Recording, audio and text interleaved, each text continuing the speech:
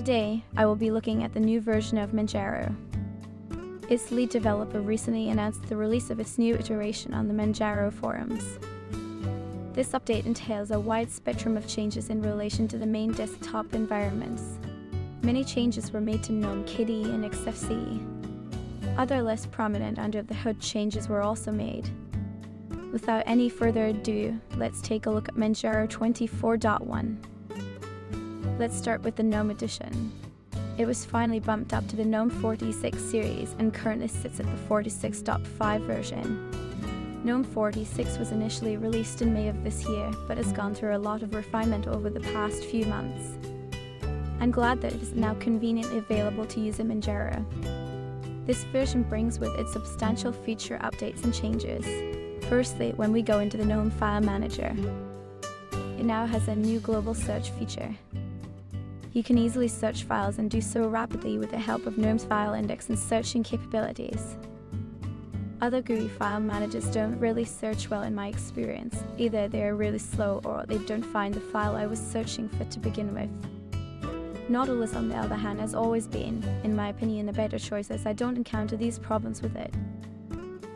Furthermore, it can also search the contents of files, which is pretty impressive. On top of which, it has a pretty well implemented filtering system too. In this new update with Global Search, you can search in multiple locations simultaneously, including directories outside of your home folder.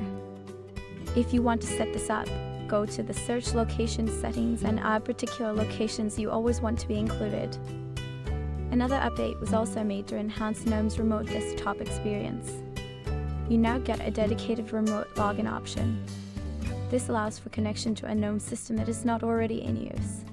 With this feature, you can now configure the system's display from the remote side and won't need to do it locally. The settings application in GNOME has also had several changes. It has been vastly reorganized to make it easier to navigate the options and categories. A new system section has been created. You can see options like region, date, and so on. Additionally, a lot of minor improvements were also made. A lot of the GNOME core applications have been upgraded. This update encompasses not just aesthetic changes but also performance changes under the hood. For example, Nautilus, the Files app had major code refactoring. This increased performance noticeably and switching views now feels incredibly fast.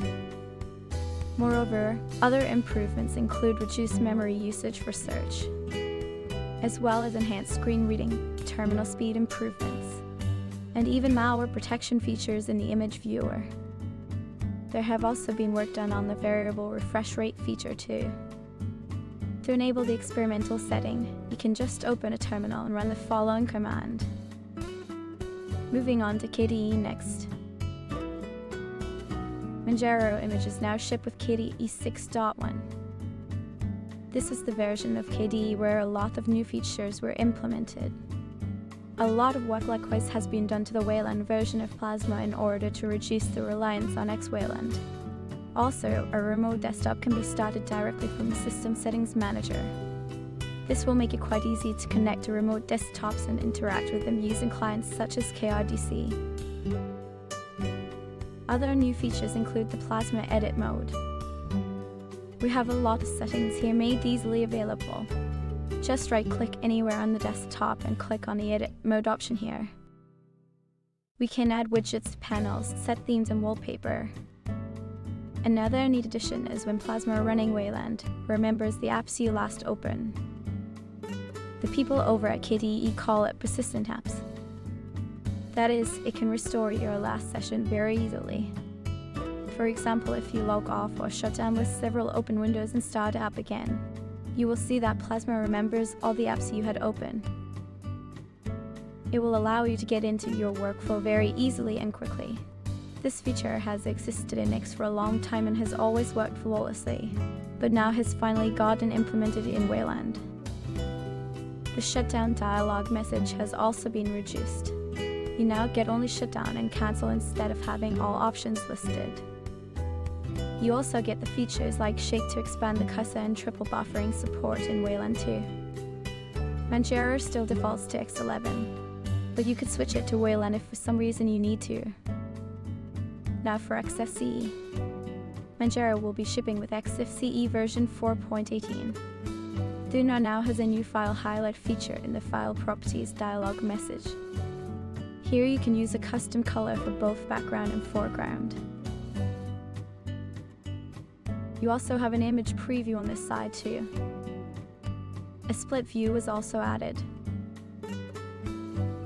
This view will allow you to use two active windows independently of each other, and also interact with one another with drag and drop support options.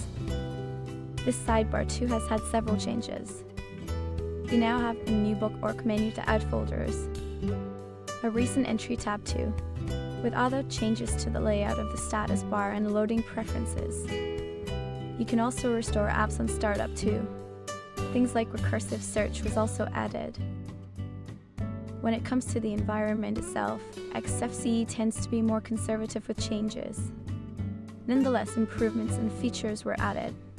If we go into the panel settings, we can now configure length with pixels rather than percentages. This allows for more accurate adjustments. You can now also use the Keep panel above Windows option that will let apps drawer behind the panel. This will be very useful if you prefer to use the XFCE panel in a centered flirting style. The clock can also now be changed when it comes to font family and font size. You can also modify the time and date format to a custom display too. Other changes include the ability to disable header bars in the XFCE appearance setting. You can show or hide the delete option in context menus. You can also pick a default behavior for multi-monitor setups. When it comes to the kernel, Manjaro now ships with 6.10, but support for 6.6 and 6.1 LTS versions is still available for those on older hardware. Anyway, this has been my video on the new release of Manjaro 24.1. Thank you so much for watching and see you in the next one.